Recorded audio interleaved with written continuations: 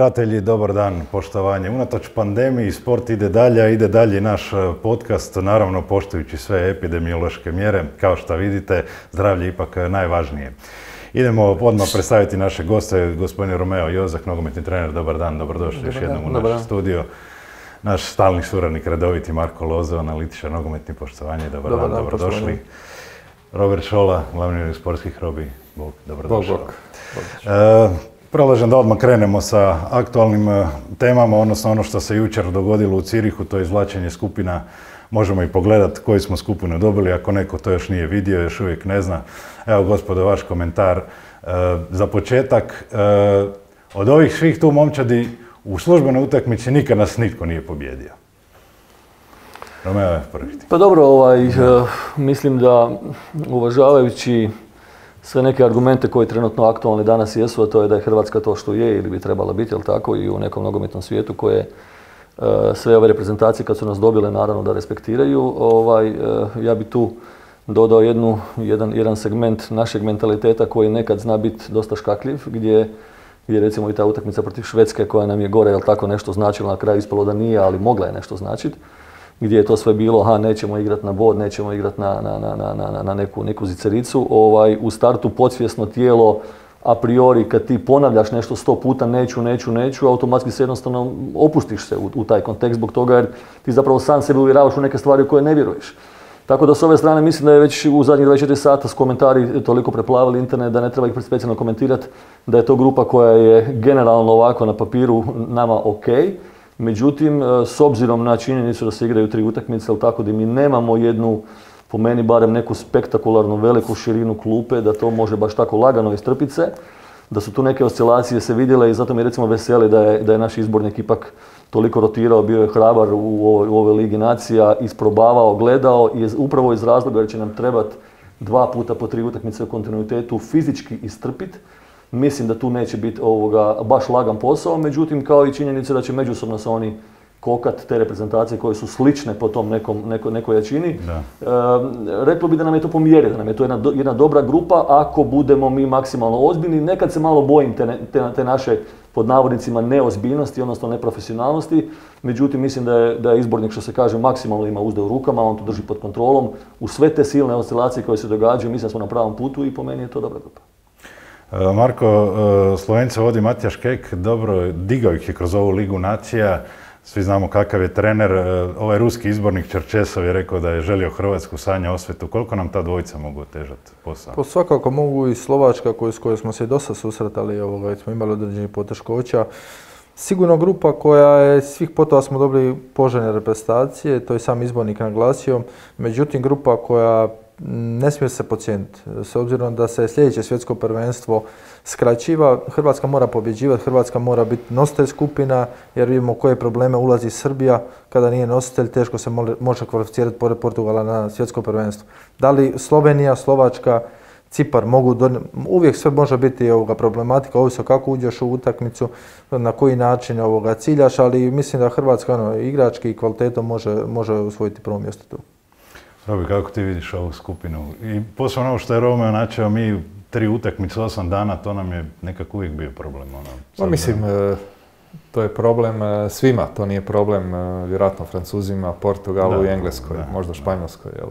Ali kad gledamo širinu koju imamo mi u usporedbi sa Slovenijom, Rusijom ili Slovačkom, jel, naša je neusporedivo šira, ajmo reći, veća. E, utakmice koje smo mi imali ove jeseni su neusporedivo teže od onog što su imali oni. Tako da, e, naravno ako ćemo pocijeniti bilo koga, možemo izgubiti od Gibraltara ili, ili Lichtensteina, ali e, realno sa, u normalnim okvirima, sa normalnim pristupom, mislim da nam niko od ovih reprezentacija nije ni blizu. Da složimo idealnu reprezentaciju skupine van Hrvatske, to je reprezentacija koja ne može parirati Hrvatskoj. Tako da očekujem da možda će biti neki sitnijih problema, ali uvjerljivi prolaz Hrvatske. Rekao bi po kvaliteti snazi skupina dosta slična ovoj koju smo imali za euro. Pa tu negdje, da. To su tri, tri podjenake reprezentacije, ove dvije malo slabije, ali mhm. jedina stvarno klasna reprezentacija u tom društvu je Hrvatska. Uh, Roma, jasno je ko će kao izbornik Hrvatske početi te kvalifikacije koji kreću u ožujku. Znam da je teško biti prorok, ali šta mislite ko će ih završiti? Pa ja mislim da će, iskreno mislim da hoće. Bez obzira šta se dogodilo na euro. Mislim da, mislim da da. E, dobio je povjerenje na neki način i nacije, mislim da svojim rezultatima je pokazao, kažemo, ušte neke sitne oscilacije. Meni se općenito, općenito, a to je možda jedna tema koju ćemo kasnije dotaknuti malo se kad budemo vjerojatno i na Hajduku i na Dinamu, onaj dio kontinuiteta ili nekontinuiteta općenito odabira kadrova koji rade u, nogometu. Um, uz sve oscilacije, znači nije, nije lagano bilo nakon uh, planetarnog uspjeha kojeg smo napravili, nakon toga ići po planeti Zemlji gdje svi do na tebe jurišaju maksimalno, zadržavati ipak taj status uh, do one mjere do koje još uvijek mi respektabilni jesmo, uz promjenu generacija, uz nekoliko igrača koji se oprostilo, uz, uz ovu koronu gdje dva igraju, tri ne igraju, ok, kako kod nas, tako i kod drugih. Međutim, tu smjenu generacije polako raditi, održavajući status, ime i prezime i dalje biti neki e, nositelj skupine i dalje se plasirati i dalje zadovoljavati naciju nije lagano. Mislim da generalno tu Dalić dobro hendla.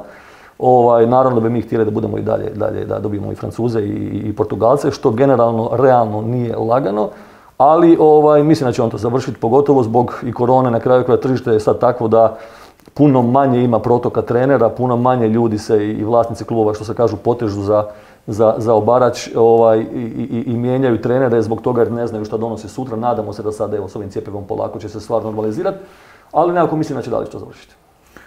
Luka Modrić, hoće li on završiti kvalifikacije? Pa evo... trebalo mi već, trebali već pripremati tu momčad bez njega? I za to svjetsko Svakako hrvatska reprezentacija je dosta ovisna o Luki Modriću, bez obzira što on ima 35 godina. Čitajući neke intervjue ovoga, po španjolskim medijima, mislim da puno ovisi o tome hoće li mu Real Madrid produžiti ugovor ili ne. E, ono što treba, svakako treba tražiti nasljednika Luke Modrića, ne smije se to dogoditi preko noći, ali ovoga, ono što je najvažnije da je on sa 35 godina nositelj igre Hrvatske reprezentacije. Znači kako sad izgleda, on bi mogao bez problema igrati u Kataru za reprezentaciju. Mm, to, to je ono nešto nosi vrijeme. Kažem, moje mišljenje je da puno to ovisi o tome hoće li on produžiti ugovor sa Realom ili ne. E, šta si mišljava, hoće li mu Real dati novi ugovor i da li bi on trebao ovaj, uopće ostati u Realu? Možda ne zadnju sezonu dvije odigrati, možda negdje ovako, šta bi se reklo u nekom lakšem tempu za svoj gušt. Tako. Pa gle, e, moje mišljenje je da Luka želi igrati sljedeće sezone u Real Madridu. Jel? I mhm. to je dobra vijest za Hrvatsku jer očito on e, je u dobroj snazi, dobro se osjeća, vjeruje da može puno doprinijeti Realu, ako može Realu, može i Hrvatskoj. Jel? E, to očito u ovom trenutku nije u, njegovim rukama, ali osobno sam uvjeren da će Real na kraju e, produžiti ugovor s Lukom, jer koliko god, ne znam, ovi novi bili dobri, Valverde, Odegaard, Kroos je tu, jel, ali mislim da je Luka još uvijek najbolji vezni igrač Reala. I nikako mi ne bilo drago da mi nakon uh, eura uh, praktički preko noći ostanemo bez Luke jer odmah nakon eura slijede uh, nastavak kvalifikacija. I Luka obožava igrat za Hrvatsku, u dobrom je stanju, tako da vjerujem da ćemo ga imati u Kataru. Dobro, ako mogu dodati recimo dvije rečenice, samo ova, ova, ova, ovaj neki nogometni marketing, ja nazvao što radi recimo Ibrahimović, e, malo nogometa, malo marketinga, malo, malo putovanja, malo svega, gdje on to i svojim godinama igra, ajde na nekom nivou ozbiljnom.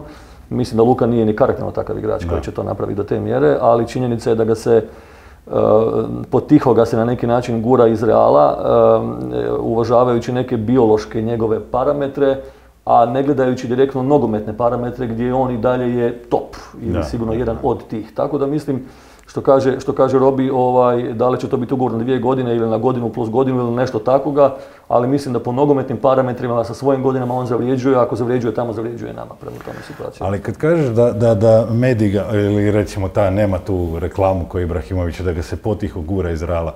Evo možemo pogledati njegov učinak e, na ovoj utakmici protiv Sevilje, on je e, njega i Rakitića recimo. Njega su Španjolci, španjolski mediji uglavnom proglasili igračem utakmice. Te, iako što je napisao jedan kolega Antolić, on nije, ovo mu neće sigurno biti jedna od sto najboljih u karijeri koje je odigrao. Ali svejedno ga toliko cijeni toliko je napisano nakon te utakmice, dajte mu više, produžite ugovor, da ima tu podršku, rekao bih, i javnosti, navijača i medija da ostane u realu. Pa ima, kad, ajde, ova sama statistika, znate kako je u jednoj utakmici ona, ona može odvesti... Pa hoću reći, nije ništa spektakularno, ali svi ga hvale. I nakon takve utakmice svi od, od tih, recimo, dodira i od tih točnih dodavanja, koliko je bilo onih, što se kaže, ključnih, opasnih, u onu zonu 14, pa onda u 16 terac, pa onda recimo u te neke stvari koje dodavanje nije dodavanje. Dodavanje zavisi koliko je imalo svoju funkcionalnost na terenu. Međutim, on ima podršku medija bez danjega. Sad stalno se osjeti nešto u zraku, vjerojatno to osjeti i on sam, da ga se malo tu negdje stavlja u nekom, u nekom smjeru, ali kažem, mislim da je mislim da je nezasluženo. Pogledajte samo kako jedna druga službena reprezentacija u svijetu trenutno izgleda sa njime ili bez njega. Mislim, sve, sve pa ne, on je recimo u Asu, koji je drugi list po veličini i jačini u Madridu, je jučer osvano na naslovnici. Jel? E, u Marki ima izvaredan tretman. E, e, a ovo, ovakve utakmice, ono, Luka je igrač koji ne treba uopće biti nešto posebno vidljiv ili da mi kažemo sad je odigrao izvanrednu utakmicu, a da on bude u biti ključan za igru svoje momčadi. On je predobar, e, osjeća se predobro, e, želi igrati na vrhunskoj razini i pa čak i ako to u realu možda u nekom trenutku ne prepoznaju ili ako e, podlegnu pritisku tih njegovih godina, jel? Ovaj, nekako mislim da će Luka svejedno ovaj, igrati za Hrvatsku u Kataru, kako god bilo. Eh, evo, kad smo išli kod Španjolaca, eh, Marko, gledao sam sad, eh, čitao sam zapravo izjavu Mate Bilića koji dugo igrao tamo i prati to u Španjolsku. On kaže, ove godine sasvim sigurno Real neće biti prvak, Barcelona još i manje, Atletico možda, ali po njemu je prvi favorit Real Sociedad. Šta ti kažeš tu Pa Real Sociedad već u kontinuitetu, ne samo ove sezone, nego i unazad dvije, tri godine ima, stalno slaže dobre mlade igrače i dovodi na posudu dobre igrače i stalno je u vrhu igraju ili Ligu prvaka, ili kvalifikacije ili Europa ligu. Sad, da li će oni biti prvaci, teško mi je to, Mate dugo tamo bio, ali ja ipak mislim da Real i Barcelona i unazad sezone su isto počimali sa lošim startevima, ali opet se ovoga izdvoje i budu ili oni ili oni prvaci. Zapravo trenutno najbolje izgleda Atletico, barem u Španjolskoj. I najbolje su napravili transfer, dosta transfer politiku i čak mijenja neki svoj stil igre. Da, nije to više samo... Da, na igrača koji ima i, i ozbiljni kandidat za, za, za prvo mjesto, ali opet kažem, sve ovisi, taj Real kogo je uvijek u problemima, kad je god najbitnije, oni, ovoga, oni to naprave rezultat e, i uzmu titulu ili Ligu prvaka ili u prvenstvu. Barcelona isto u problemu, ali to su stvarno veliki klubovi koji ono, znaju, znaju iz tih situacija izaći kao pobjednici. Dobro, evo ajmo preći sad, ovaj tjedan je rasplet posljednja kola po skupinama Lige prvaka i Europske lige. Nemoj da vas pitam, Dinamo igra protiv CSKA, kako god to završilo, Dinamo je prvi, CSKA zadnji, ali e, Dinamo ima šansu napraviti zaista jedan, ajmo reći, povijesni rezultat da postane prvi u povijesti koji nije primio jedan gol u tim europskim natjecanjima kroz te, te skupine. E sad, e, imajući u vidu da tri dana kasnije još jedna teška utakmica u Rijeci Dinamo čeka, kako biste vi postavili tu momčad? Ovaj, da li bi odmarali igrače, da li bi ne znam, odigrali otvoreno na pobjedu pa nek bude 4-2 ili bolje 0-0 pa da uđeš u povijest? Pa ne, ne, ja bi išao, ja bi išao sa, mislim da će tako ići Dinamo sa najjačom postavom, onom koja će biti mm što se ono, raspoloživa s obzirom malo i na ovu koronu i na ove stvari koje jesu. Ali da ovaj rezultat jedan koji je odjeknuo ne samo hrvatskom, nego sigurno jer ono što se piše kod nas, piše se automatski prenose međusobno mediji, kako vi njihove, tako oni naše. Uh, ovu informaciju koja je nogometno frapantna i zapanjujuća i za svaki respekt, ali pak s druge strane je ovoga toliko i teško pomisli da neko to može napraviti na tako jako natjecanju da je stvarno bilo bi šteta tu priliku ne iskoristiti. Iz tog razloga mislim da će Dinamo ići tu maksimalno da ne primi taj gol. Neće on sad bunkericu igrati protiv CSKA doma bez danjega, međutim iće sigurno na pobjedu i zbog koeficijenta, i zbog novaca, pa i zbog ove same činjenice koja je. A nakon toga onda kad se završi utakmica i mislim da i sam Zoran i sami igrači uopće ne razmišljaju siguran sam u Rijeci kao Rijeci, aha sad nam je tu, da Rijeka nam dolazi u rasporedu bez danjega, međutim da je sad ta tekma ovaj, alfa i omega svega. Što se dogodilo s Dinamom da nije dobio niti jedan gol? Ono? Je neka taktička tu bila uh, prenamjena se dogodila odjednom u... Čak u zadnje tri utakmice nisu protivnici ni stvorili neku ozbiljnu šansu. Pa Dinamo igra ono, dosta, dosta u svojoj, svojoj polovici u tom bloku i to dosta dobro funkcionira. E, dovođenje Lauricana, to je igrač koji je stabilizirao obranu sa smanjenim greškama od Teofila i po meni ključan igrač Guardiol koji me ugodno iznenadio pogotovo u utakmici utakmici sad zadnjoj u Nizozemskog gdje je odigrao kao najiskusniji igrač, a zapravo najmlađi na poziciji koju inače ne igra. E, na desnom bočnom poziciji se promijenio umjesto Stojanovića Iranac Moharami koji je isto ugodno iznenađenje i kada ekipa tako drži jedan dobar balans, pogotovo uža ta zovna obrane uz Libakovića, ono, Dinamo stvarno, nestvarno, nestvarno dobro, dobro tu užu zonu, užu zonu obrane igra. Ono što sam ja i u prijašnjem emisiji naglašavao što Dinamo nedostajalo, to je nedostajala ta igra u fazi napada, gdje su oni više bili fokusirani na obranu s obzirom na sami kadar koji imaju tranzicijske igrače. I tu su taj segment isto protiv Feynorda dosta popravili, ali naglasak ove uže zone obrane je stvarno, stvarno fenomenalan. I ovo da se vratim na ovo tvoje pitanje od prije, Dinamo ne treba biti opterećen sad s utakmicom CSKA, hoće li oni primiti zgoditak ili ne. Dinamo treba nastaviti igrati ovako u fazi obrane, poboljšati igru u faze napada i utakmicu pobijediti. Jer lakše je opet e, doći u rijeku sa pobjedom nego da ideš u rijeku sa negativnim rezultatom ili ući u utakmicu sa rijekom s negativnim ili pozitivnim rezultatom. E, Dinamo je robi najugodnije iznenađenje te skupine, sigurno, ovaj, ali najveće razočarenje je sigurno CSKA. Znam da si ih dosta pratiš i zbog Vlašića i tako dalje. Šta se dogodilo s njima? Pa ne bi ja rekao da su oni nominalno igrački najslabiji u skupini. Da. Teško, mislim, najslabiji je Wolfsberger, jel? Ali CSKA ima uh, jedan ozbiljan problem koji, se, koji je bio vidljiv jako i prošle sezone, pa i pretprošle. To je i dalje iznimno mlada momčad. I ta momčad kad upadne u, u, nekakvu krizu, prije svega ovaj, postizanja golova, ona strahovito pada. Jel? Prošle sezone oni su u skupini osvojili jedan jedini bod. Ove sezone još nemaju pobjedu i već su osigurali zadnje mjesto. Jel? E, ako Vlašić nešto uspije napraviti, e, e, izvući ih iz te krize, onda ovaj, to donese rezultat. Ako to Vlašić ne napravi, e, CSKA potpuno potone. Jel? I u ovim prethodnim utakmicama Vlašić je igrao dobro. Možda nije igrao onako kao protiv Dinama, ali je generalno igrao dobro ili barem vrlo solidno, ali jednostavno ti mladi igrači su toliko potonuli da je to ono neprepoznatljivo. Jel?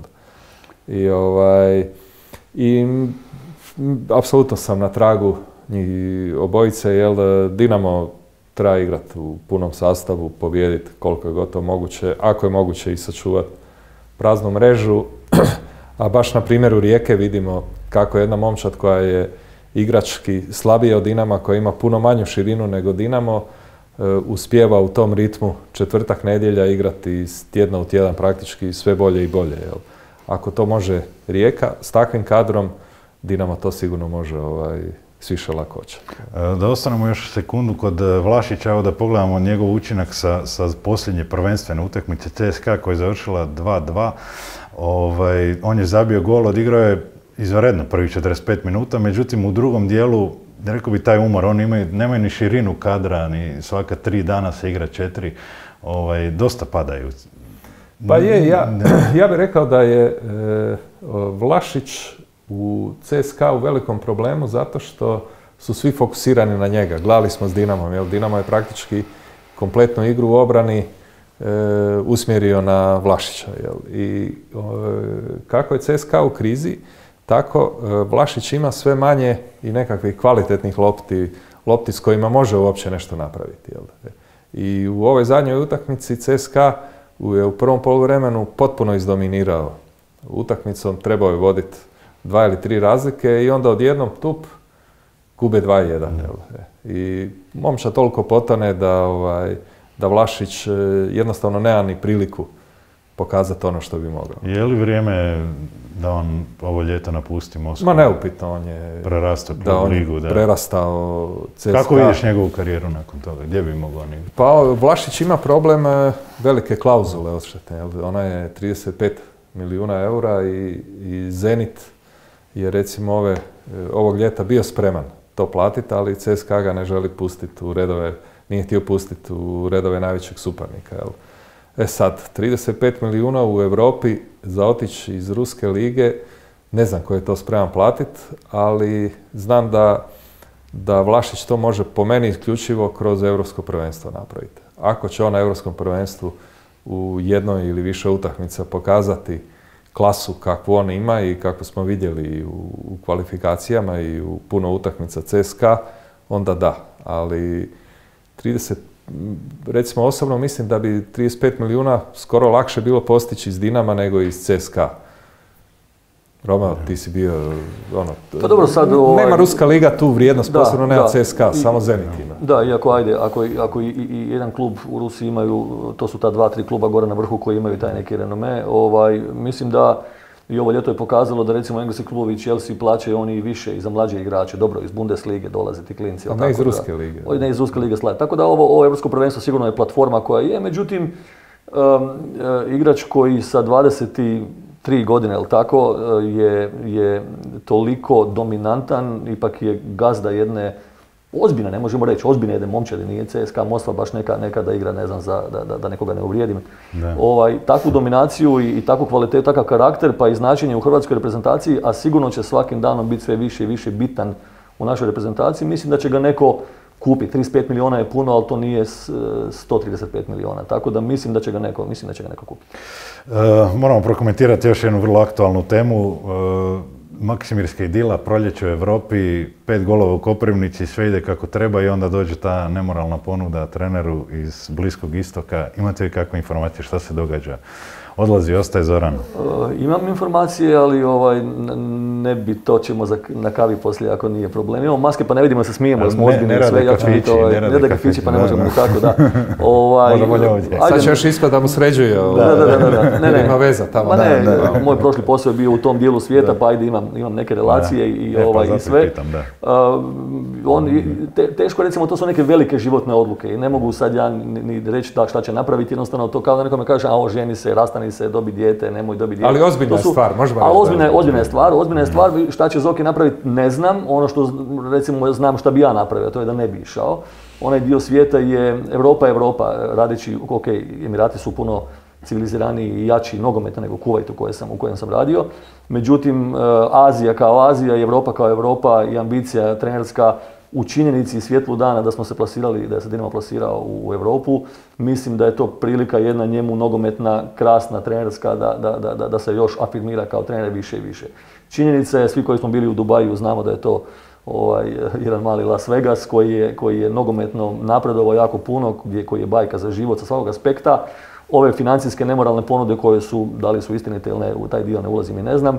Međutim, nije lagano, nije lagano tu odluku donesti, sad šta će Zoki napraviti ne znam do kraja, ali ovoga, kažem, to je sigurno gdje ima, gdje ima vatre, ima i dima, tako da očigledno nešto se vrti.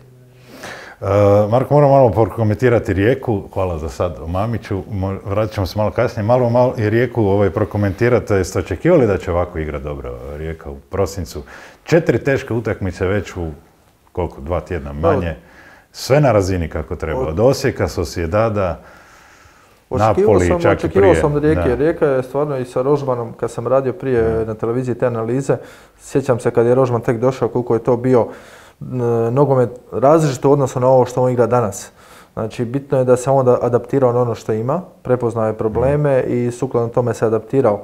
Očekivao sam od Rijeke da će biti dobra, ozbiljna i konkurentna, jer u utakmicama koje su bile najbitnije da se oni kvalificiraju u samu Europu ligu su bile ovoga, jako zrele, jako dobre i samo u skupini igraju dobro. Ono što sam očekivao da će ih te utakmice poremetiti u HNL-u s obzirom na umor, međutim tu on izvlači maksimum iz ekipe, ekipa je stvarno mu vjeruje i igraju odlično, igraju odlično i na, u Europi, a ne prati ih rezultat s obzirom na samu i kvalitetu ovoga Da, protivnika. Samo u Nizozemskoj nisu bili blizu, ostalo su sve tu. To da, tamo su imali nesreći da su primili rani zgoditak, mislim, i ovoga, onda je teško jer igra taj dosta defanzivni blok, pa je teško i posjetite zgoditak, ali ugodno je iznenađenje u Španjolskoj, stvarno fenomenalna utakmica i ono gdje smo najviše iznenadili je na Poljudu gdje su u prvih 15 minuta čak teško ulazili u utakmicu, Hajduk bio dosta dominantan, ali drugo polovrijeme, umjesto da padaju, oni se dizali, je teren kakav je, ali stvarno, stvarno sam ovoga, ugodno iznenađen sa Rijekom. Mišković stvarno dobro bira te trenere. Već treći put zaredom da je Da, dobro. Pogodio, da. ako možemo to tako ovaj, reći. On to uvijek prebaci na Mancea i Srećka Juričića, jel? ali e, mislim da je, kad je Mišković u pitanju, da su dvije stvari ključne. Znači, trener se bira dugo i pažljivo i kad izaberu ono što misle da im u tom trenutku treba, onda taj trener ima bezuvjetnu podršku. Znači, Miškovića ne, on je pro- e, ne proljetos, nego kad je prvenstvo nastavljeno nakon lockdowna, jel? Rijeka je bila u dosta velikoj krizi i mogla je čak u nekom trenutku završiti i peta. Ovaj, ali e, bilo je i puno prozivanja i Rožmana i Rijekine igre, jel, ali Miškovića to ne poljulja doslovno ni 1%. Jel. E, on je uvjeren da je Rožman kvalitetan trener, on vidi taj žar, kako on voli reći, u, njegovim očima i e, on svako malo izađe u konačnici u javnosti i kaže volio bi da budemo drugi, kaže sanjam da budemo prvaci, da budemo ne znam u Europi, ali ako ne budemo, ako završimo peti, apsolutno trener ima moju 100% podršku, pa makar mi tu izgubili 5, 6, 7 ili ne znam koliko utakmica u nizu. I onda Rožman, koji je vrlo mlad trener, mi je Rijeka daleko najveći izazov u karijeri, jer do sad su mu to bile domžale, taj trener koji je vidljivo bio u krizi nekakvoj, koji je treperio u, u, tim teškim kolima jel, koji su igrali nakon lockdowna, odjednom shvaća da ima punu podršku, radi po svom, još ima više elana i na kraju očito se napravi jedna dobra kemija koja donese ovo što gledamo danas. Jel? Kažeš Mance Juričić, ali njega zapravo Kek preporučuje riječi. E, da, u onom, u, u prvoj još e, mhm. varijanti je Kek o njemu govorio dobro, jel? ali raspitaju se oni vjerojatno na sve moguće adrese, jer nije slučajno, znači Kek pun pogodak, Bišćan, nažalost sa problema koji izbili ovaj, zbog armade i, i sad Rožman. Ali ja bih se nadvezao, ovoga, biti dobar trener Rijeke je lako kad imaš okruženje, tako zdrav klub i ljude koji rade u tom klubu, onda je puno lakše biti dobar trener. Jer e, mislim da je to jedan od preduvjeta da ti... nije imao zdravo okruženje, pardon što preka. A dobro unutar kluba i organizacija kluba i ljude koji vode klub, točno se znaju ciljevi koji se postižu i u takvoj zdravoj sredini je ovoga lako biti e, dobar trener. Roman, kako ti to viš sad je derbi taj Rijeka Dinamo nedjelju može svi pričaju Bijelica će Osijek može ugroziti Dinamo u borbi za naslov, može li Rijeka? Ima četiri zaostale utakmice. Pa evo, samo da se nadovežemo dvije rečenice, ovo što, što, su rekli kolege, pogotovo Robi. E, mislim da je, recimo, e, obzirom na situaciju u Hajdukovu koja je totalno po meni kontra od recimo ono što radi Rijeka, gdje ti osjećaš podršku, gdje recimo i sami igrači koji su u slučionici, koji znaju kako i na koji način razmišlja klubsko vodstvo i predsjednik koji kaže aha, ovom treneru dajem podršku. I što si rekao u lipnju je bilo pet utakmica i to ne protiv Real Sociedada i protiv, protiv Europske lige, nego je to bio e, Varaždin, to je bio Belupo, mislim da su imali četiri poraza, jedno neriješeno. I nakon toga ja sam mislio, siguran sam bio čak sa svojeg aspekta gledajući, ma gled, bit će, bit će pa pa. Međutim, kako ide se dalje, da se podrška treneru i ti igrači koji su slučionici vide, aha, gle, ovom se treneru vjeruju, on će nam dečki biti ovdje sljedećih dvije, tri godine, igrali mi ne igrali, prema tome bolje da igramo, jer će nas ona pomest nas, a ne njega. Iz tog razloga se pokaže da kontinuitet napravi sva, to, to je ključni dio. Tako je on dijelu, apropo što si rekao za, za, za, za, ovaj, za Dinamo, ja sam ju prije par emisija rekao da, je, da će Osijek napraviti relativan pomak kao što ga je napravio. Hoće li on biti dovoljan da bude apsolutan da osvoji prvenstvo? Ja i dalje mislim jako, jako, jako teško. I tada smo komentirali da ako išta bude moguće, bit će moguće sad kad Dinamo igra ligu UEFA gdje će se eventualno malo potrošiti, gdje je nešto malo kiksao, kiksao protiv Osijeka tamo tako, iako je mogu tu utakmicu i dobiti. Međutim, ovoga Rijeka u ovom kontinuitetu pokazala se kao tvrda, jedna zdrava, pametna momčad, agresivna, koja će sigurno iskoristiti svoju priliku. E sad, e, ono što je sigurno dobro, dobro je nama koji sa strane gledamo, jer, je prvenstvo interesantno. E, kako i na koji način će se otići do proljeća s obzirom na i koronu i na sve ostale stvari, ne znam, međutim, interesantno. Jeste imali vas dva u karijerama takvu podršku kakvu imaju Ma ja osobno, evo ako mogu slobodno, znači moj, moj zadnji, zadnji poz, bio sam izbornik Kuvajta, znači jedna utakmica doma protiv Australije smo izgubili 3-0. Sve mi je bilo jasno. To je, to je kao da Hrvatska izgubi od Francuske u Zagrebu i nakon toga da izbornika smijeniš. Mislim, a u Legiji su bile dvije utakmice za redom, znači ni blizu, ni blizu i na kraju kada pogledaš recimo današnju Legiju iz Varšave, Ovaj, oni jesu dominantni u Poljskoj, 40 milijuna, financijski su najjači, najveći klubi, sve ok, međutim ne mogu primirisati Europi iz tog razloga što ja znam kako je to. To, to ovaj, e, čim se nerješeno odigra doma, to su tenkovi na barikadama odmah. To nisu navijači na slučionici, nego to je, to je takva jedna psihoza gdje točno igrači u slučionici osjećaju da nema podrške treneru i da navijači imaju takav pritisak na slačionicu i na predsjednika i na klub, gdje iz iste sekunde, aha, slušaj, znači ovo je ovdje, kak se god, ko fliper, gdje će se odbiti, u kojem smjeru će se odbiti. Ne da, ne da nisam imao, nego ni blizu nisam imao. Tako da me veseli da recimo i ova situacija koja u, u Rijeci pokazuje i sa Kekom, sa, sa Igorom i sada, i sada sa, sa, sa Rozmanom, da je to jedini način da se kontinuitet napravi kvalitete. Da li to bilo u reprezentaciji ili to bilo u klubu, bez toga je nemoguće. Iz tog razloga, ako će biti kasnije tematika, htio bi dvije, tri rečenice reći vezano za Hajduk, ali po meni je to ključ, ključ, ključ Sad ćemo prijeći na Hajduk. Evo odmah, Doću kolegi prvo prednost, poču nakon toga onda. Da, da. Marko, evo Hajduk, dobra utakmica protiv Rijeke. Bolja nego što su igrali veći dio sezona, ali opet nula. Ali ono što sam i prethodnim podcastima tu pričao, Hajduk igra dobro, čak odlično po jedno polovrijeme. E. Ovo utakmica protiv Rijeke, ulazak u utakmicu fenomenalan, razigran, dobar, e, ja bih rekao do gola, do gola izvrstan. Poslije opet, ajde, tu i tamo stabilan, ali drugo po vrijeme se ugasili. Nejasno, nejasno su mi neke stvarno ovoga stvari da tako, takav drastičan pad, bez obzira na uvjete, na, na sve teren, na kišu, drastičan pad. Više se neke, da će rijeka pasti, igrali su tri dana ranije. Neke odluke unutar, unutar same igre pojedinaca u prvih 11 nesvatljive i nesvatljivo mi je da po ovom blatu, ne znam, nisam upoznan sa brzinom Dimitrova, ali mislim da Vušković je uvijek ispred njega u kadru. Jedino ako ima temperaturu cijeli dan pa ne, pa ne igra, ali on je taj koji treba igrati. I drugo, što ne vidim te posavec. E, nakon utakmice, teško meni dečko stvarno odličan, ali mora, mora da više, mora biti taj lider uz caktaša koji će te mlade dečke dignuti, koji će e, i u situacijama kada ne ide obraniti nešto i da, ovoga, da se napravi neki uspjeh. Jer kad je teško, onda trebamo tražiti lidera u stočionici. Ne može samo jedan, ne može caktaš se stalno proziva se njega kao neko. Treba još uz njega neko koji će tu, tu momča digni. Naravno, trener je taj, po meni dobar potez postavljanje primorca na, na klupu kao trenera i tu se vidi napredak. Ali moraju igrači dati e, dobar, dobar neki odgovor. Uz Caktaša trebamo naći još jedan, dva lidera koji će te i strance... problem ova četvorica napred e, koji su dosta plaćeni, izdašno bogato plaćeni u odnosu na ono što daju. Diamantako, Sumut, Đurčo, Žairo. E, moram priznati da u si kad je došao bio je hvaljen dosta prvih, prvih. Ja. nisam, ja nisam vidio ovoga, tu neku ekstremnu klasu koliko je to pisano. sama statistika, znači napadač treba zabijati golove. To on u ovom trenutku ne radi. Umut, čak ajde zadnje dvije, tri utakmice u Koprivnici zabije, probudio se, ali mislim nisu to tolike klasni igrači ili u Hajduku jednostavno ne pokazuju to šta, šta je.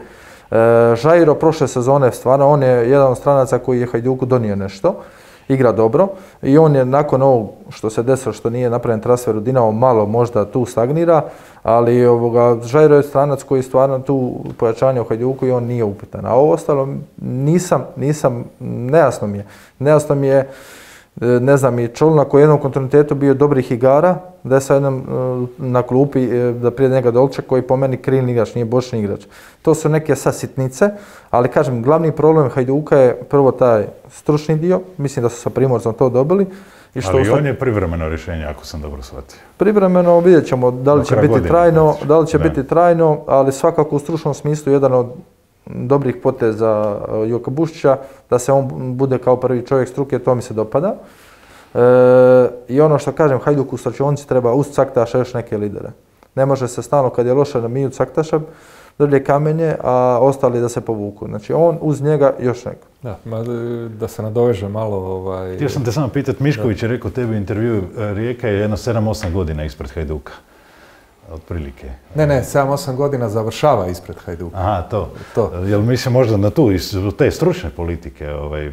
Ne, ne, on je tu mislio bodovno, ali e, ja mislim da je e, ključ u, u selekciji igrača, ta kriva selekcija igrača je opet posljedica e, toga što se stalno mijenjaju i predsjednici, i direktori, i treneri i ono, jel?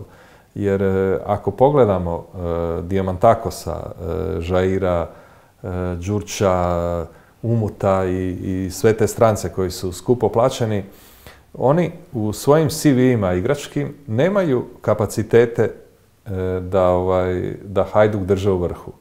Oni su igrači koji imaju svoje limite. I, ovaj, I mene nimalo ne iznenađuje to što oni u, Hajduku igraju tako kako igraju. Jel? Jer ne, znam za što bi se uhvatio kad ih gledam u konačnici kad gledam njihovu kvalitetu, a posebno i ono što su do sad radili u životu, s čime bi oni trebali Hajduk dovući do, do barem drugog mjesta. Jel? I Hajduk, e, u ovo što, što je i Marko rekao, Hajduk odigra poluvrijeme jedno, protiv Osijeka je to bilo drugo, sad je bilo protiv Rijeke prvo, jel? odigra ga dobro, I ti igrači kad se maksimalno napale, jel, kad su 100% unutra, onda to kao na nešto i sliči, jel? ali za zabit gol ili malo više, onda opet na kraju treba klasa. Jel? I oni, oni je nemaju. E, I Hajduk, ako ovaj, želi, kogod bio trener na kraju ove sezone ili za sljedeću, Hajduk mora bitno promijeniti krvnu sliku slačionice da bi to dalo neki rezultat. Ovi igrači to nemaju i gotovo. Roman, ti si želio pa jesam, svoj pogled analizirati. Mislim da su vas dvojica dobro ovaj, izanalizirali situaciju na terenu i u slačionici. Tu mogu bi dodati dvije, tri opaske, ali, ali generalno ovaj, sam, sam na istom tragu. Ono što mene generalno, jer sam jaki dugi niz godina bio u Dinamu gdje e, e, se slagala neka kultura e, razvoja nogometa. Po tim mislim da je bilo, svako jutro je bilo dobar, dobro jutro gospon trener i navečer je bilo dobro večer gospon trener.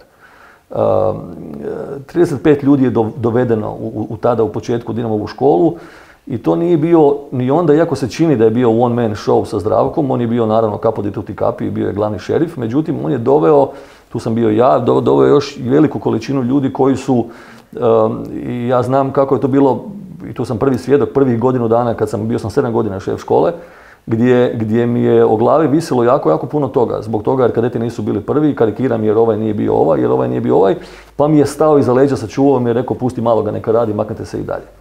E, ovo što Hajduk radi, meni se svaka utakmica čini, e, mislim da je aktualna tematika sa vokabularom ovoga, ove korone, kao da je na respiratoru. Znači, ili će biti 50-50, ako smo pobjedili, onda imamo zraka, dišemo, a ako smo izgubili, nemamo zraka, umiremo.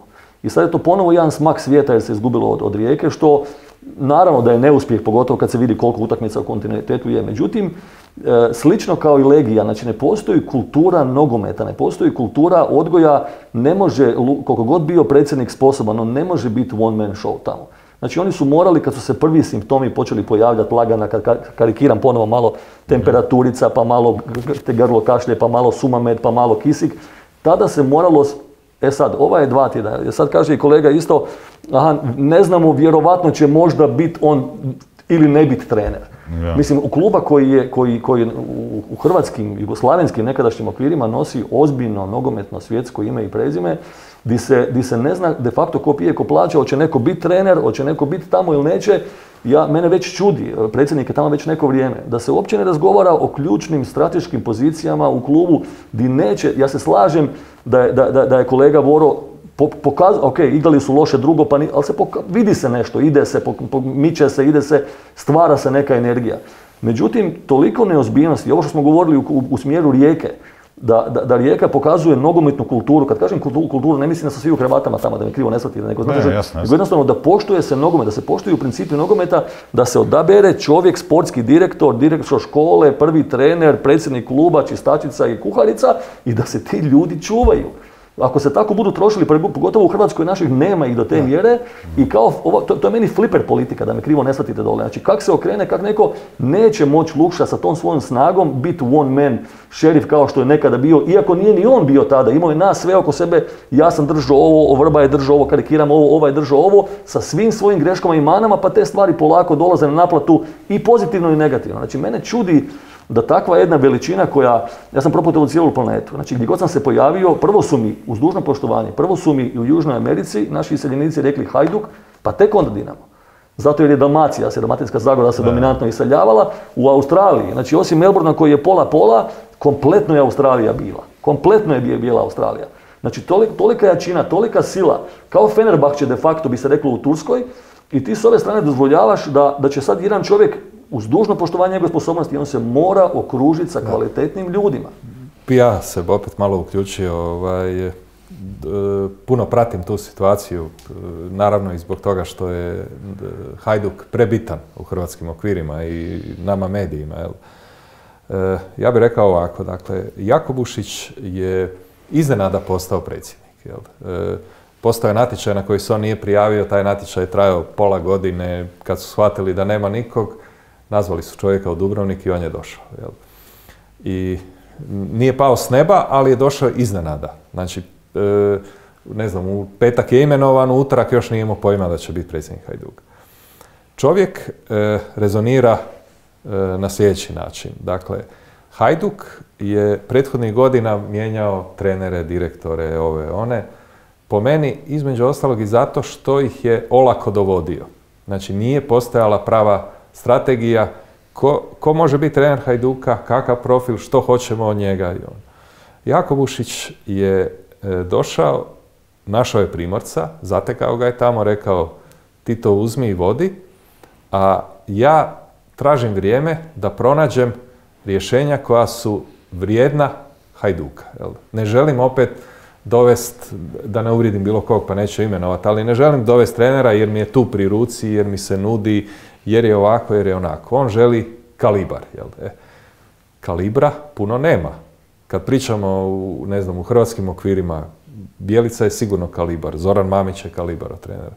Kalibar je Kek, Kalibar je Bišćan, e, e Bilić, Slaven, jel? Leko, Jurić, da. Želi, e, I sad on bi htio nešto što je ta razina, nešto što, što, kog bi on doveo u klub i rekao mu ti radi svoj posao, ja stojim iza tebe 100% i nije bitno ćemo izgubiti u prvih pet mjeseci ili pola godine ili godinu dana toliko utakmica, bitno je da napokon kroz pravi rad osvojimo Hajduk na noge. Samo bojim se da Jakobušić ima problem koji inače je veliki problem hrvatskog nogometa, a to je imamo manjak pravih i trenera i ljudi koji su u, u sportu, u struci, sportski direktori, sportski radnici. Ono. Ja, Marko. ja bih se još nadovezao. Prva momča Hajduka i sam, sam taj medijski istup nas prikriva pravi problem Hajduka. Romeo kaže da je bio sedam godina je bio u Dinamu i zna na koji način funkcionira sustav. Ja sam bio u Hajduku godinu. Ću vam reći da škola nogometa Hajduka ima samo jedan teren gdje se trenira. Znači umjetne trave. I još jedan teren gdje igra, odnosno trenira prva momčad i igraju tu i tamo juniori. Znači na jednom terenu ti hoćeš stvarati da budeš iznad Dinama, ne možeš. Znači, to je ključan problem. Uloži. I, moraš imati e, nekog Jozaka koji će biti sedam godina. Ne možeš svake... Ti si bio godinu dana, vjerojatno si bio jedan od najstarijih po stažu u tom trenutku. Jel? Sad, da, da zavirimo na polju pitanje, jel, jel neko tamo ima dvije godine staža. Možda ima Despotović, jel? ali... Mora se po vertikali znati što je glavni cilj, što, kako.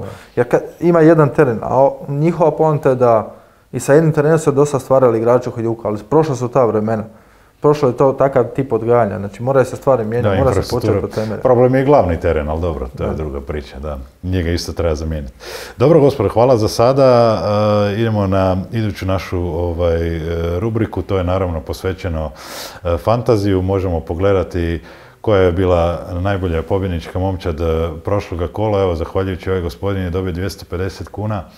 Zahvaljujući odličnim partijama Sona, De Bruyna, Salaha, Čestitamo, ukupni nagradni fond je kao što znate veći od 250 tisuća kuna. Priključite se, igrajte, evo imate i naš prijedlog e, za iduće kolo. E, ovo bi rekao jedna dosta ovako jaka obrambena momčad, napred malo slabije. Marko, ima, ovaj, da, znam, ste stalno hvali da, da, ima dobre rezultate. Da, ali ovo je sad vikend imam e, Wernera koji je se crte promašio i imam Ferminja koji je kapetan isto s crte promašio. Fermina baš ne ide u zadnje vrijeme. Ali izdvojili su na vrhu sad e, da, malo, ajde, jednu rečenicu o tome kažemo, Tottenham, Liverpool, će to biti dvoboj možda za prvak? Pa, e, sad se gledao, baš sam gledao, fokusiran sam bio na obranu Tottenhama s obzirom da su samo obranu igrali nevjerojatno, ali stvarno Mourinho, kada ga ovako detaljnije malo analiziraš, pripremi utakmice fenomenalno. Prošle sezone sam gledao... Prerano su ga otpisali. Da, Tottenham, Leipzig, kada ih je Leipzig razbio stvarno fenomenalno, obe pripreme utakmice izgubio je i sad protiv Arsenala, brutalna priprema utakmice, svaka čast. Uh, idemo na... I, mislim, ako, ako mogu dodati vezano za Mourinha, u zadnjih podosta izjava njegovih, mislim da je i on sazrio, ovaj, ako, ako mogu biti toliko neskroman, da, da, da, Murinja... Nakon ovaj, toliko trofeja je sazrio.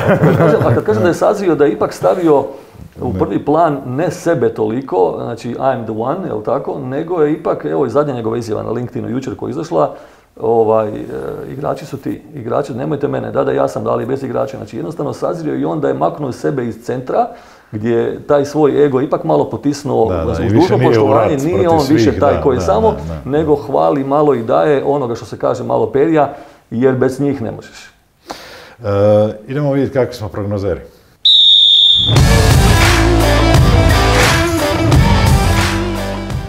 Znači ovo je danas Liga prvaka, danas u srijedu, ovaj, ovo su ključne utakmice koje će odrediti ko ide dalje. E, prva po redu je Red Bull Salzburg, Atletico Madrid. E, Salzburg pobjede ide dalje. Prognoza, ostalo sve Atletico ide dalje. Romeo, 1x2. X. Marko, reci. E, Ne briljira Atletico u Evropi, odlični Španjolskoj, ali u Evropi... da, Salzburg ne. je dobar, ali Ne, dobro kažem to, to je ne. momčad i kad, kad je najbitnije onda su x2, x. Robi. Dva. I sad idemo na ovu skupinu koju su mnogi prozvali skupinom smrti, svi mogu proći, svi mogu ispast. Real Madrid, Borussia. Pa mislim da tu uz, uz- uz sve oscilacije koje jesu, ne, ne, mislim da bi, da bi, da bi bolje da ovaj, Meteor lupi u Madrid nego da se ovo ne prođe ovaj put u ovoj situaciji. Manja bi bila šteta, tako da ovaj, bez jedinice mislim da nema razgovora. Slažeš se, Marko? Također, da. Da. Robi, ima tu neka iznenađenje po tebi, moguće. Pa, moram priznat, kraj Reala. Borussia me oduševila. E, Marko je prije nekoliko tjedana rekao da ih dugo gleda i analizira. Recimo, način na koji su razbili Šahtar u obje utakmice, to je fenomenalno bilo. jel? Igrao je dobar nogomet. Da, tako da- Vjerojatno će to Real dobiti, ali neće biti lako. jel? Druga utakmica te skupine je Inter Šahtar. E, mislim da ako Real i Borussia odigraju nerješeno, da Inter ispada u svakom slučaju, Da. bez obzira na pobjedu, ako se ne varam. Pa onda, a Šahtar, svi ga podcjenjuju, otpisuju ovo ono, dva put dobije Real. Pa, Ja bi ovdje isto jedinicu, koliko ja imam kalkulacija, mislim i Real Inter s pobjedama prolaze. E, Da, mislim ali ako Real Nerešeno, Inter da. je ispod. Da. Da. Ovoga, ali Šahter mi je neugodno iznenađenje, imaju dobre te igrače, Brazilce, ali evo u dvije utakmice protiv Borusije, tu, tu sam ovoga malo se razočaran. Ali mislim da ovdje Inter eh, će pobijediti utakmicu. Ja isto mislim. Inter. Baš, da. E, Ajax Atalanta, to je još jedna utakmica koja se odlučuje direktno tko ide dalje. Znači isto kao u Salzburgu, domaćin mora dobiti, ide dalje, sve ostalo Atalanta. Ovdje možeš da, golove, ali, ali dva. Ja, bi, ja ću staviti dva, bez obzira Ja na formu da, Atalante. Da. Pa da, dobro, neki X bi tu mogao biti da, neće biti lagano ovaj Ajax. Ne. Dva bi rekao. Ajax je mlad, ovi su opakni. A ovi su nepredvidivi, Da. da, prije svega. Dobro, sad e, idemo na naše klubove u Europskoj ligi, zadnje kolo. E, Dinamo baš nije favorit po Da, ovo je kladionicama. nevjerojatno. Da, ko da oni misle da će oni malo opušteno odigrati. Pa mislim da se neće dozvoliti Dinamo tu ovoga, i zbog svega što smo rekli malo prije, pogotovo u ovim okolnostima koji jesu, da, da će, iako CSKA hoće neki možda gorak okus koliko toliko malo sprat, ali mislim da je jedinica tu u igri. Pa mislim isto jedinica, tako da se novci zarade na pobjedi i na Guardiolu. Da. Da, da. Ne, jedinica po meni vrlo uvjerljiva jer pitanje je S kim u kakvom sastavu će uopće doći CSKA jer oni su sve karte bacili na prvenstvo. Da, da, sad je- tako da. sad je A i da dođu kompletni, opet je velika jedinica. To. E, Rijeka je veliki outsider po ovim bookmakerima. Je Laza Alkmaru to znači, oni se bore za prolaz dalje. Može li tu doći do iznenađenja? Pa s obzirom na, na, na, na, ajde, ovaj tempo koji Rijeka ima i na utakmicu protiv Hajduka gdje je bilo blata i svega, nema takav neki preširoki kadar, bit će to jako, jako, jako teško. Volio bi reći da će biti neki X ovdje, ali bit će teško. To je ova utakmica dosta ovisi o samom početku kako će se otvoriti, ovoga, ali mislim da nije AZ razina Real Sociedada da bi mogla Rijeka X izvući. Ja bi isto rekao Janix. Dobro. I taj veliki derbi za vikend. Pa mislim da Dinamo nema više pravo na greške i to je de facto zadnja utakmica, ili tako sad u ovom dijelu, u ovom dijelu ovaj, ove Ima još godine. jedno kolo nakon toga. Da, da, ali, ali on, ajde, reklo bi se ovo nešto što, što je ono kao derbi, neka ozbiljnija varijanta. Ovaj, ako to ne pobjede, malo će nekako ovaj, ova cijelokupna, ova božićna lijepa bajka koja se piše neće biti do kraja ispisana, tako da mislim da neće dozvoliti si kiks bilo koje vrste ovaj, dvojke pa Znači dvojka čvrsta. Da. Marko? Pa nakon utakmice osijek ono kako Dinamo dominantno ulazi u utakmicu, mislim da će i oni u utakmicu, s obzirom da je kraj sezone, dominantno ući i pobijediti. Dva. Hvala lijepo. Za kraj brzo potezna pitanja.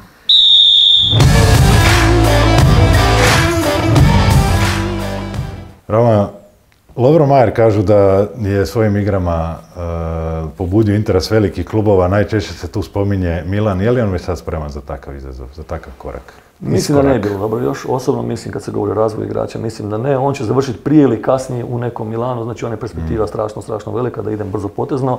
Mislim da još uvijek ne, ali u perspektivi sigurno da. Marko? Isto se slaže u potpunosti, mislim da bi za njega bilo bolje kontinuitet igara dobrih nastaviti, e, još par proljeća s Dinamo u Europi i onda Znači ne, ni iduće ljeto, još Ja, ja, ne, ja bi da bude gotov igrač koji onda kad dođe u Milano da igra, a ne da opet proživljava sudbinu kad je došao u Dinamo da godinu dana sjedi na klupi. Robi Ilija je tu rekao kad je bio to jedini pravi nasljednik Modrića. Pa ne, meni oni nisu baš isti tip igrača, jel, ali slažem se, veliki potencijal, po meni najmanje još sljedeću sezonu mora ostati u Dinamo. E, drugo pitanje, Kylian Mbappe ovaj vikend zabije stoti gol za Paris Saint-Germain. Je li on već sada najbolji napadač na svijetu? Pa sad da li je najbolji, ali sigurno jedan od najboljih bez daljnjega. Ove su brojke frapantne, kako on lakoćom prolazi na 137 utakmica s toga, nevjerojatno. Pa sad, evo, 22 godine, ja mislim, 23. u pre- ako ne sada, bit će u perspektivi sigurno jedan od. Sigurno jedan od najboljih uz Halanda, on je više krilni nego napadač, ali, Lewandowski možda tu. to. ali ove mlađe generacije što dolaze, da. Sigurno jedan od najboljih. Kako ti vidiš najbolje? Pa on je Ne. čudo, bit će sigurno zlatna kopačka ili zlatna lopta, ali po meni, i ja sam čak očekivao da će njegov e, igrački, igračka putanja ići više. Malo kao da je zastao, iako je i dalje fenomen, i, ali fali mi još nešto u toj igri, ono, da, da bude razina Mesija ili Neymara u Ali s obzirom na godine koje ima, to su jako, Da. jako mlade godine. Mladi jako, doći- ali doći doći on do će. Ja toga. mislim da mu fali razina lige, da je u nekoj boljoj ligi da svakodnevno ili svaki vikend ima takve dobre utakmice, onda bi on napredovao. Uh, Roma u Italiji vode Milan Inter, to dugo nije bilo. Uh, šta misliš, prvak će biti Brozović, Perišić ili Rebić? Ili nijedan od te trojice? Pa teško je sad prognozirati, veseli me ovo, veseli me da se malo i tamo su se zamiješale karte, teško je do kraja reći, veseli me da su, da su klubovi iz Milana ovoga tu, navijemo naravno za naše dečke da bude jedan od njih gore prvi, ali, ovoga, ali će biti interesantno stvarno, teško mi je sad reći ko će biti prvi. Conte to- je uzeo titulu gdje je go bio, znaš, i zato mislim da bi mogao on ove godine iznenaditi. Pa ja mislim da će prvak biti Milan ili Juventus. Milan ili Juventus. Dobro, uh, velike svađa danas um, u Engleskoj oko Pogbe javili su razni ovi engleski analitičari i tako dalje i rekli potjerajte ga više iz Manchestera, to je najprecijenjeniji igrač u povijesti nogometa. Pa da li je baš najprecijenjeniji do kraja, ovaj, dalo bi se diskutirati, stvarno je on kvalitetan, ali činjenica je da ima jedan jaki, jaki marketing, odličan igrač. Međutim, kao i možda ona neka vremena, sada ne idem, ne idem, ne idem sa nekim imenima i prezimenima, ne znam, Veron je došao pa je tamo bio odličan, a ovdje nije bio s one strane, da li je to adekvatnost lige, adekvatnost podržaja, adekvatnost iskoristivosti od strane trenera, ne bi ga baš okarakterizirao kao najvećim promašajem s te strane, ali sigurno ne da je ono što medijska kampanja o njemu govori cijelo vrijeme, to je istina. E, kvalitetu ima, u to sam se osobno uvjerio na finalu svjetskog prvenstva gdje u samoj igri vidiš koliko on ovoga doprinosi, ali ako on vredi dva puta po 100, mislim da onda Brozović vredi dva puta po 300. Da, najbolje igra u Juventusu. Nakon toga nije opravdao novce. Kako svjetsko prvenstvo očekujete u Kataru? Hoće li zaista biti best ever što se kaže ili je to umjetno s čudnim terminom? Pa svako se najavljuje, ovaj, bit će zadnja sa 32 reprezentacije, tako iako ono vrijeme kad sam baš bio u Kuvajtu, ja razgovaralo se, bilo Infantino je bio par puta tamo, pa se razgovaralo čak i tada o proširenju u Kuvajti, treba biti domaćin zajedno sa Omanom, to nije prošlo. Ovaj, da li će baš biti best ever, s obzirom na ovu cijelu situaciju koju je, teško mi je reći, pogotovo što to dolazi u nekoj sezoni kad se, kad se klubovi igraju, Da, malo će to ići Prije Božića. prije Božića, pa trebaju se klubovi malo i naći, pa reprezentacije, neke pripreme, pa sve, bit će interesantno, sad da li best ever, teško mi je reći. Svakako interesantno zbog termina koji će se održavati, vidjet ćemo kako će to u budućnosti donijeti. Možda će to svjetsko se pokazati kao pun pogodak i onda u budućnosti sva svjetska se igraju tim termina, vidjet ćemo da li će biti a svako svjetsko je dobro, isto kao i europsko, ali svjetsko prvenstvo Dobro, ovo će svjetska. stvarno biti specifično i zbog vremenskih će uvjeta i... Zbog samih stadiona, klime u stadionima i stadiona, svega tako. Da, i manjkavost, i manjkavost također e, ovog ljetnog termina, iako ako se može reći manjkavost i kraj sezone Lige prvaka, znači igrači već umorni, sve dolazi ljeto na neki način psihologija neka moglo biti bolje, i nakon toga kreće tek tarapana, tako da bit će ovo s ove strane sigurno interesantno. Pa očekujem da bude jako dobro baš zbog ovog što je Romeo rekao. Jel, u u početkom 12. mjeseca su igrači praktički u punoj formi, jel, a u šestom mjesecu su već iscrpljeni. Tako da tamo klima neće biti problem, oni će, rekli, imaju već ove Oni će ohladiti riješeno, da, zemlju ako treba. 20 ovaj, stupnjeva, idealni uvjeti za igru. klimatizirani stadion ono, će tako biti, da. da puno očekujem. I za kraj, problem zvan Mio Caktaš, bez dvojbe najbolji igrač Hajduka, ali Jakobušić je jasno rekao ako ne pristane na, i to znatno manji ugovor, završit će na tribinama, da ne kažem trčat po Marijanu. Kako treba riješiti taj problem? Pa, ja, Zadržat ga, smanjiti Znači, ugovor. komunikacija, komunikacija je samo komunikacija, raz- ra- razum i s jedne i s druge strane. Ovaj, ono što je uvijek po meni prvo u prioritetima, to je klub, prvo klub pa tek onda pojedinac. U svakom slučaju, da li to bila Barcelona, je li to bio, je li to bio Hajduk, ovaj, tako i u ovom slučaju. Činjenica je da je odličan igrač, da treba komunikacijski to riješiti, međutim ako ne bude išlo, eh, ja ću uvijek biti na strani eh, sustava, ovaj, eh, ako je on ispravan i pravilan. Marko, koliko, biti, koliko Pa- vrijedi Caktar za Hajduk? Jel bi ga zdržao po svaku cijenu, prodao ga nešto treće? E, između? Ovo što Caktaš pridonosi Hajduku sigurno vrijedi. Ja kažem bolje jedan, cak, jedan takav od 200 nego 4 od 50 koji će onda da- dati tu neku kvalitetu. E, sigurno možda u ovom trenutku preveliki teret u te kluba ovoga, taj njegov ugovor su razgovorom što je rekao Romeo se može to riješiti, ali sigurno da Caktaš vrijedi to i on nije skup u odnosu na neke koji su dovedeni za puno veće iznose, a nisu Da, i isplativi. puno manje, da. Da. Caktaš je kapetan, najbolji igrač i mislim da on je Hajdukovac, Hajdukovo dijete i mora biti svjestan i on nekakve svoje odgovornosti, mora pronaći zajednički jezik s klubom i biti primjer ostalima u slučionici kako se trebaju ponašati. Gospodo, hvala vam puno na još jednom gostovanju u našem eh, podcastu. Poštovani gledatelji, hvala i vama na pažnji. Gledamo se ponovno idućega tjedna. Doviđenja.